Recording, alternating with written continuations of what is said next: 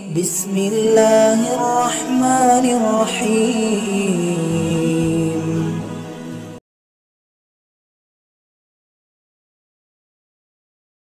أعوذ بالله من الشيطان الرجيم. بسم الله الرحمن الرحيم. الحمد لله رب العالمين والصلاة والسلام على سيد المرسلين وعلى آله وأصحابه أجمعين. بسم الله الرحمن الرحيم. إنا أعطيناك الكوثر فصل لربك وانحر إن شانئك هو الأبتر صدق الله مولانا العلي العظيم മുസ്ലിം ലോകം ഈദുൽ അദ്ഹയിലേക്ക് പ്രവേശിക്കുകയാണ് പതിവ് വർഷങ്ങൾക്ക് വ്യത്യസ്തമായി ഏകദേശം ഒരു വർഷത്തോളമായി അന്തർദേശീയ തലത്തിൽ തന്നെ മനുഷ്യ കുടുംബത്തെ തന്നെ കടുത്ത ആശങ്കയിലാക്കിയ കോവിഡ് വ്യാപനങ്ങൾക്കിടയിലാണ് ഈ വർഷത്തെ ഹജ്ജും ബലിപെരുന്നാളും കടന്നു വരുന്നത് ഹജ്ജിന്റെയും ബലിപെരുന്നാളിന്റെയും അനുബന്ധമായി ബലികർമ്മം നിയമമായി അംഗീകരിക്കപ്പെട്ട മതശാസനയുള്ളതാണ് പരിശുദ്ധമായ ദീൻ. രണ്ടിന്റെയും തലങ്ങൾ വ്യത്യസ്തമാണെങ്കിലും രണ്ടു ഘട്ടത്തിലും രണ്ടു തലങ്ങളിലും ബലിദാനം കടന്നു വരുന്നുണ്ട്. പക്ഷേ ഈ പ്രാവശ്യത്തെ ഹജ്ജ് കർമ്മവുമായി ബന്ധപ്പെട്ടുകൊണ്ടുള്ള നിയന്ത്രണങ്ങൾ ഇതിനകം പ്രഖ്യാപിക്കുകയും അതിനനുസരിച്ചു കൊണ്ടുള്ള ക്രമീകരണങ്ങൾ തുടർന്നുകൊണ്ടിരിക്കുകയുമാണ്.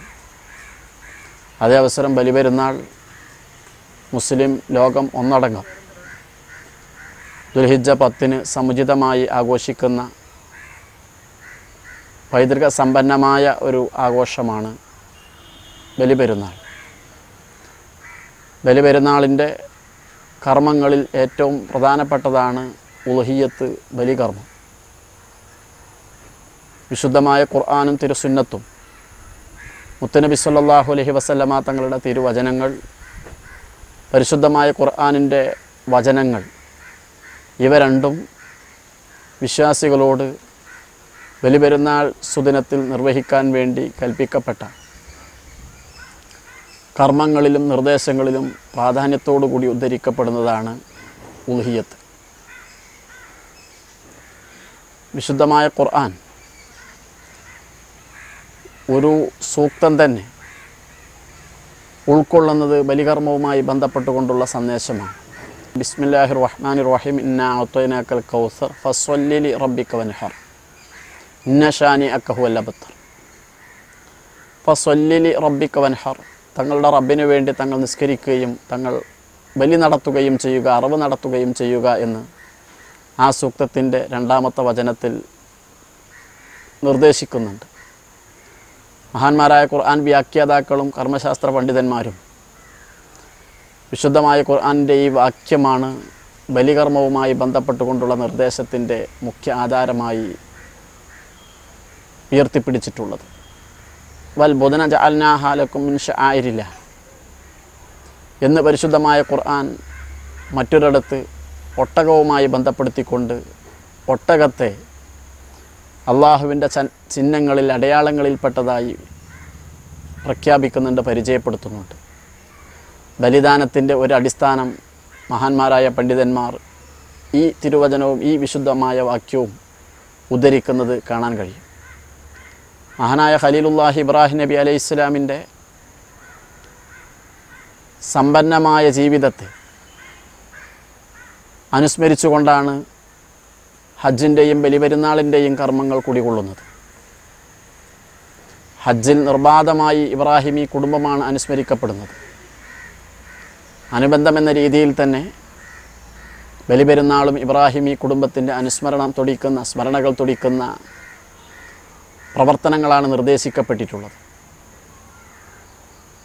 അതിലേറ്റവും പ്രധാനപ്പെട്ടതാണ് ബലികർമ്മം. പ്രാർത്ഥനയിലൂടെ ലഭിച്ച തന്റെ അരുമസന്തതിയെ തന്റെ പുത്രൻ ഇസ്മായിൽ നബി അലൈഹി ഇസ്ലാമിനെ പ്രിയ പിതാവിന്റെ കൂടെ കൈപിടിച്ച് നടക്കാനാവുന്ന പ്രായത്തിൽ അള്ളാഹുവിന്റെ ഇഷ്ടത്തിന് വേണ്ടി പ്രീതിക്ക് വേണ്ടി ബലിയർപ്പിക്കണമെന്നുള്ള സ്വപ്നത്തിനൂടെയുള്ള നിർദ്ദേശം പ്രവാചകൻ ഇബ്രാഹിം നബി അലൈഹി ഇസ്ലാമിന് ലഭിക്കുകയും അദ്ദേഹം സ്വപ്നം അള്ളാഹുവിന്റെ ഭാഗത്ത് നിന്നുള്ള നിർദ്ദേശം തന്നെയെന്ന് ഉറപ്പിച്ചതിന് ശേഷം നിർദ്ദേശം നടപ്പിലാക്കാനായി ബലികർമ്മം നടത്തുന്നതിന് വേണ്ടി തീരുമാനമെടുക്കുകയും മിന കുന്നിലേക്ക് പ്രിയപുത്രനെയും കൂട്ടി പോവുകയും ബലികർമ്മം നടത്തുന്നതിന് വേണ്ടി തന്റെ പ്രിയപ്പെട്ട പൊന്നോമന മകനെ ചെരിച്ച് കെടുത്തിച്ച് ചെരിച്ച് കിടത്തി കൈകാലുകൾ ബന്ധിച്ച് മൂർച്ചയുള്ള ഘടുകം കത്തി പ്രിയപ്പെട്ട പൊന്നോമനയുടെ കഴുത്തിൽ പല പ്രാവശ്യം ആഴ്ത്തുകയും ചെയ്യുന്നതുമൊക്കെ ചരിത്രം പറയുന്നുണ്ട്. അതിനിടയിലാണ് ജിബിരിൽ അലൈഹി ഇസ്ലാം ഒരു ആണാടുമായി പ്രത്യക്ഷപ്പെട്ട് ഇബ്രാഹിം നിങ്ങൾ അള്ളാഹുവിന്റെ പരീക്ഷണത്തിൽ വിജയിച്ചിരിക്കുന്നു എന്ന പ്രഖ്യാപനവുമായി എന്ന ഓർമ്മപ്പെടുത്തലുമായ അറിയിപ്പുമായി ഇബ്രാഹിം നബി അലൈഹി ഇസ്ലാമിനോട് കുട്ടിക്ക് പകരം ആടിനെ ബലിയെറുക്കാനുള്ള അള്ളാഹുവിന്റെ കൽപ്പന നിർദ്ദേശിക്കുന്നത്. ആ നിർദ്ദേശത്തിന്റെ തനി ആവർത്തനമാണ് ഇബ്രാഹിം നബി അലൈഹി അന്ന് ആടിനെ അറുത്ത് അള്ളാഹുവിന്റെ പൊരുത്തത്തിന് വേണ്ടി നടത്തിയ ആ ത്യാഗത്തിന്റെ ത്യാഗബലിയുടെ അനുസ്മരണമാണ് മുസ്ലിം ലോകം ബലിപെരുന്നാൾ ദിവസം ഈ ഒരു ബലി ദർപ്പണത്തിലൂടെ ബലിയർപ്പണത്തിലൂടെ ബലിദാനത്തിലൂടെ നിർവഹിച്ചു കൊണ്ടിരിക്കുന്നത് മുത്തനബി സല്ലാ അലൈഹി വസ്ലമ തങ്ങൾ ഒരിക്കൽ പ്രവാചക മഹാന്മാരായ സ്വഭാവത്തിനോട് പറയുന്ന വാക്കുണ്ട്. ഉദഹീയത്തിനെ കുറിച്ച് ബലി ദാനത്തെക്കുറിച്ച് പെരുന്നാളിലെ ബലി ദാനത്തെക്കുറിച്ചുള്ള ചോദ്യത്തിന് അത് സുന്നത്ത് അബീക്കും ഇബ്രാഹിം. നിങ്ങളുടെ പ്രപിതാവ് ഇബ്രാഹിമിന്റെ സുന്ന സുന്നത്താണ് ശരിയാണ് എന്നുള്ള മുത്തുനബി സല്ലാഹു അലൈഹി വസ്ലമ തങ്ങളുടെ ആ ഒരു അറിയിപ്പ് ഈ ഒരു വലിയ ചരിത്ര സംഭവവും ആ ഒരു പൈതൃകത്തിലേക്കുള്ള വലിയ സൂചനകളുമായിട്ട് മഹാന്മാരായ പണ്ഡിതന്മാർ ഉദ്ധരിക്കുന്നുണ്ട്. അപ്പോൾ അടിസ്ഥാനപരമായി വലിയ ഒരു പ്രവാചകന്റെ സമ്പന്നമായ ചരിത്രങ്ങൾ ഉറങ്ങിക്കിടക്കുന്ന ആത്മീയ തലങ്ങളുടെ ഏറ്റവും ഔന്നത്യങ്ങളിൽ വിരാജിച്ച ഒരു പ്രവാചകന്റെ ജീവിതവുമായി ബന്ധപ്പെടുത്തുകയും വിശുദ്ധമായ ഖുർആാനും മുത്തനബി സല്ലാഹു വസ്ലമാ തങ്ങളുടെ തിരുവചനങ്ങളും കൃത്യമായി തെര്യപ്പെടുത്തുകയും ചെയ്ത ഇതിന്റെ അടിസ്ഥാനത്തിലാണ് മുസ്ലിം ലോകം ബലികർമ്മം പെരുന്നാളിന്റെ ദിവസം ബലികർമ്മം നിർവഹിച്ചു കൊണ്ടിരിക്കുന്നത് നിർവഹിക്കാൻ വേണ്ടി ബാധ്യസ്ഥരായിരിക്കുന്നത്. അതിന്റെ മഹത്വവും ശ്രേഷ്ഠതയും ഒക്കെ അറിയിക്കുന്ന വചനങ്ങൾ ധാരാളമായി കാണാൻ കഴിയും. മാ അമിലബിന് ആദമയോ മന്നഹർ മിൻ അമിലിൻ അഹബ്ബ ഇലല്ല. ഇബിന് ആദം പെരുന്നാൾ ദിവസം അള്ളാഹുലേക്ക് ഇഷ്ടപ്പെട്ട ഒരു അമലും നിർവഹിച്ചിട്ടില്ല. മിൻ ഇറാഖത്തിദ്ദമി രക്തം ചൊരിക്കുന്നതിനേക്കാൾ. ഇന്ന ഹാലത് എത്തിയോ ഖിയാമ ബി ഖുറൂനിഹ വ അദ്ലാഫിഹ. ആ ബലിമൃഗം അന്ത്യനാളിൽ അതിന്റെ കൊമ്പുകളും അതിന്റെ കുളമ്പുകളുമായി വരും. വൈനദ്ദമ ലയക്കോമിനല്ല അതിന്റെ ബലി മൃഗത്തിന്റെ രക്തം അള്ളാഹുവിന്റെ ഭാഗത്ത് നിന്ന് അള്ളാഹുവിൽ നിന്ന് അത് വീഴും. ബി മക്കാനിന്റെ ഒരു സ്ഥാനത്ത് സംഭവിക്കും അത്. കബൽ അന്യക്ക അലല്ലാർലി ഭൂമിയിൽ അത് വീഴുന്നതിന് മുമ്പ് അള്ളാഹുവിന്റെ അടുക്കൽ വലിയൊരു സ്ഥാനത്ത് അത് വീഴും. അതുകൊണ്ട് ഫത്തൊയ്യബൂ ബിഹാനഫ്സൻ നല്ല മനസ്സോടുകൂടി നല്ല മനസ്സോടുകൂടി നിങ്ങൾ ഉലുഹിയത്തിനെ നിങ്ങൾ ബലിദാനം നിർവഹിക്കണമെന്ന് മുത്തനബി സല്ലാഹു അലൈഹി വസല്ലമ തങ്ങളുടെ വചനം ശ്രദ്ധേയമായി ഈ രീതിയിൽ ഉദ്ധരിക്കപ്പെടുന്നതിൽ പ്രധാനപ്പെട്ടതാണ്. അവ ബലിമൃഗവുമായി ബന്ധപ്പെട്ട് ബലിദാനവുമായി ബന്ധപ്പെട്ടുകൊണ്ടുള്ള മഹത്വം.